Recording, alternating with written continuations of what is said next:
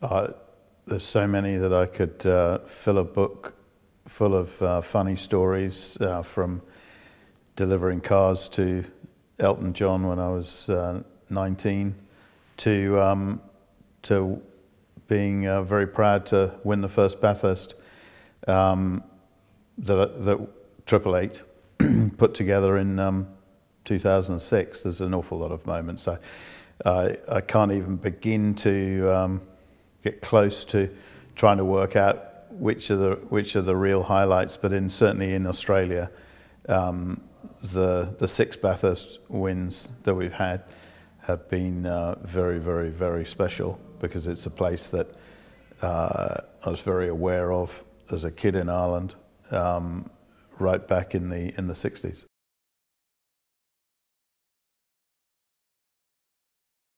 Yeah, I mean, it was a, the Briggs Motorsport operation was a um, yeah, mid-range team, as it were, that ha hadn't won. It wasn't terrible, um, but it was a very good collection of people, and it was really a matter of taking those people, uh, enhancing the workforce, uh, adding to it, but really building on the people that that um, I inherited, and uh, and getting the best out of them. And um, I'd like to think that that's the major contribution that I make is trying to get the best out of uh, out of a eclectic group um, with many different skills and backgrounds, um, and that's what I saw back in 2003. The roots of that at, um, at Briggs Motorsport, uh, and um, really really built on uh, really built on that, and it took us 18 months or so to shape it into something that was capable of winning, and we won our first uh, first race May 05, um, and yeah, I haven't looked back.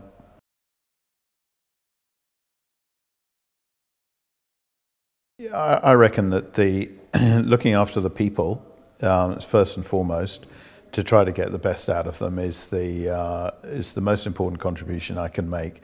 So uh, clearly, having a, a commercial ability as well as understanding racing and what makes a difference and what doesn't make a difference. That's, that's vital, but trying to get and extract from a group of uh, individuals uh, the best out of them, keep a, a very family orientated atmosphere in the team, make people want to be there, want to come to work every day, and want to win at not any cost, but almost any cost. They want to win. They've got to be committed to winning and trying to give them the tools to do that, as well as give them the mental um, space to be able to do it and the, the right attitude.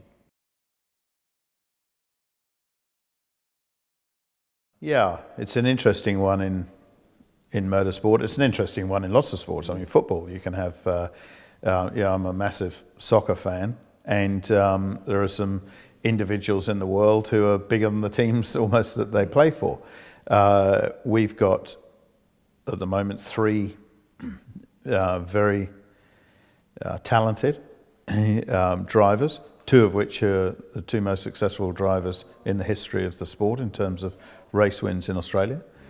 Um, and uh, I'm very, very pleased that all of them have shown me that they've been capable of being team players. So understanding that we are a team, they can't win without the team. Um, the team, obviously, we can't win without them.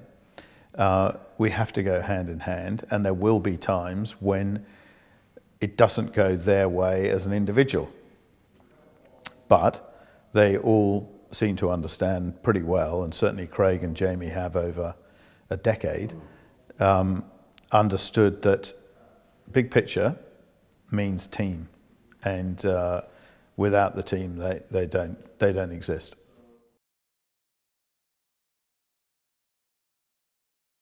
Uh, at, at different times, we've looked for different things. I mean, when um, back in 04, when first did a deal with Craig, that was about trying to get a driver who we knew was an absolute benchmark um, in terms of performance, so that if we weren't winning, it wasn't the driver, it was us as a team. So we, we had to have a known quantity. And, and I went after the best known quantity that there was. Um, and uh, in my mind, there were, at that time, there were three outstanding drivers in the category. It was Craig, there was Marcos Ambrose, and there was Mark Skaife.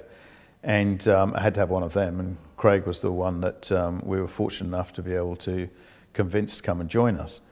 Um, so, and then with Jamie, it was more a question of, to be honest, trying to find somebody who could be a part of a winning team at Bathurst. That's what I wanted to do.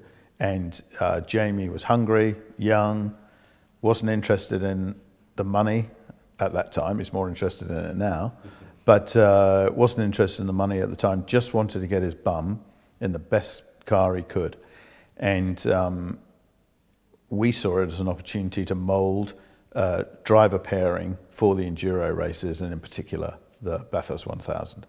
Um, with Shane, we've got to know him over the last few years because we've worked with Tekno, who ran him uh, for three years um, in a Triple Eight built car. So got to know him very well and um, his ability. So his ability is right up there. He's got great natural talent um, and uh, needed a bit of, of refining when he first went to Tekno. But Steve Hallam, who used to run that team, did a very good job with, um, uh, with Shane in terms of, uh, of uh, making him a more rounded competitor. Um, but we all just love the fact that he just wants to drive cars, just wants to drive race cars, drift cars, whatever. Um, and that enthusiasm is, uh, is infectious.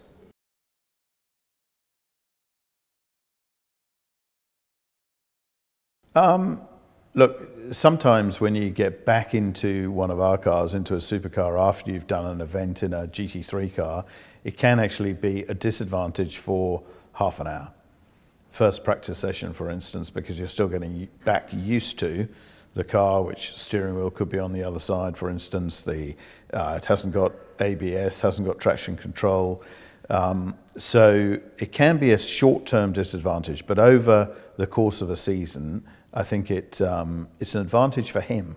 Whether it would be for everyone, I don't know, but an advantage for him to be driving um, other cars because that's what he loves doing he wants to drive cool cars in cool places around the world. And, um, and good luck to him. He's a archetypal um, Kiwi racing driver making the most of his opportunities.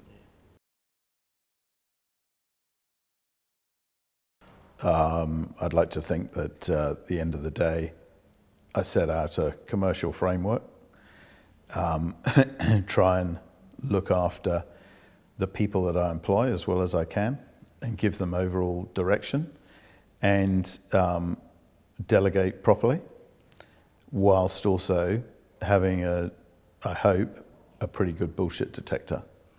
And motorsport is, is full of bullshit uh, and um, it's being able to wade through that and understand uh, what makes a difference and what doesn't. And in, in building a motorsport team, there isn't a team in the world that can do every single thing it would like to do in terms of going after performance or etc. So you're always deciding what's important and what's less important and prioritizing things. um, and that's a part of what I do as well. It, it's, uh, it's good. I almost wish I'd done it earlier, um, but you know it um, it uh, is interesting for me because um, my grandfather was uh, born in Adelaide, 1892, um, ended up in the UK, uh, World War One, and stayed there, uh, and still visited Australia. But um, my elder brother is a doctor in the Northern Territory connections with Australia go back a long way. Um, so it's sort of um, uh, come full circle. And um, yeah, from my great grandfather um, coming out under his own power, not, uh, not under sufferance, in, um, in the 1870s uh, to um, South Australia uh, as a settler. And um, funnily enough, I've still got the, the Bible that he brought with him that's been backwards and forwards between uh, Australia and the UK. I can't say I read it that often, but I like having it. uh, I'm not sure. You'd have to ask um, some of the layabouts that I hang around with. Um, trying to uh, trying to make the most of um, of uh, life in general, and and these days living in a um, a country where I believe we're all fundamentally spoiled to be here. Yeah, we're privileged to be here um, in this country. Uh, we should remember that, but at the same time have a good time. Um, I love sailing. Um, I can't do enough of it at the moment, uh, but uh, keep a, um, a racing boat in, um, in Thailand so that I can do Southeast Asian regattas. Uh, that's um, an escape route for me. But, uh, but equally, I, I, can never get enough motorsport one way or the other. Uh, and I'm very happy to, to watch other people doing a good job as well. Look, we all need modern cars because at the end of the day, they work properly. The aircon works. They, they start, they stop, and everything, etc. So, um, yeah, I drive uh, three different cars at the moment as a, as modern cars. Uh, we've got a um, an SS Commodore manual um, V8, which um, which I love. Apart from the fact that if I drove it properly, I'd get nicked all the time.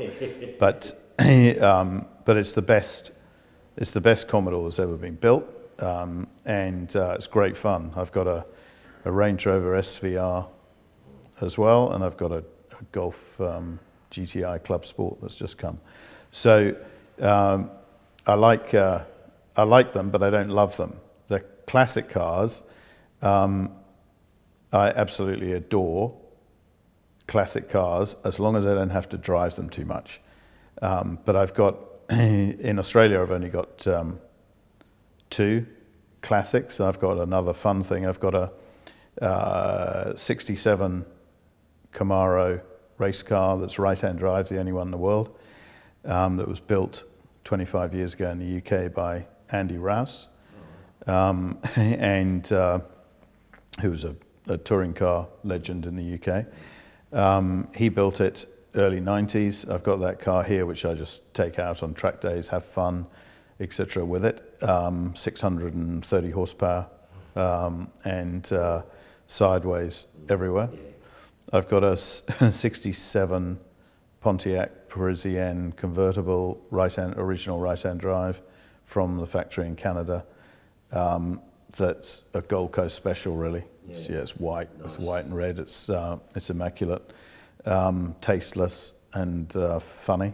Um, and I've got a, a two-door, I think it's a 99 WRX STI okay. um, Subaru with um, uh, lowered and um, fancy suspension and fancy ECU and exhaust and brakes and everything, uh, which is a giggle for taking out on track days. It's so light and such fun um, that it's actually quite a good balance between um, old and modern. You know, it still drives really well, and it's a um, if I allow friends to drive it at at Norwell or something on the Gold Coast, I can't get them out of it.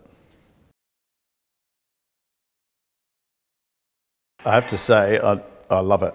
I could come and camp and uh, uh, walk around, um, remembering over um, 30 years of working for myself uh, but also you know, 40 years of working, um, how many of those cars that you've got, of the older cars that you've got here, whether racing or road going, how many stories I've got of myself of you know, owning, owning those cars or uh, selling those cars or knowing people who had them or dreaming over Lamborghini Miuras in the 60s um, as the best looking car there's ever been. Um, terrible to drive, absolute dog to drive, but sensational looking um, to uh, yeah, Mercedes 280 SE 3.5s. Uh, I'm a massive fan of. Um, I've owned a couple, sold them in hindsight far too cheaply, but it was good at the time. Um, I actually like the hardtop ones. Uh, the um, uh, yeah, F40, I, I own two F40s myself personally uh, back in the early 90s. Um, and uh, not the greatest car to, to drive, but just a sensational car to look at and to, um, yeah, in those days, getting into something with just surrounded by carbon fiber was pretty special, and uh, it was an iconic car at the time. Um, so a whole host of memories coming out from looking at these cars. Uh, it's a real, real buzz. Um, I've I enjoyed spending two hours just trawling through and looking at, um, at some of the things, and also with uh, with um, a staff that actually know what they're talking about because uh, it's fun to talk to people who know as much about the cars as as I think I do, and etc. And, and and in some cases a lot more than I do uh, with some of the cars, and that's really uh, that's uh, fun, real good fun.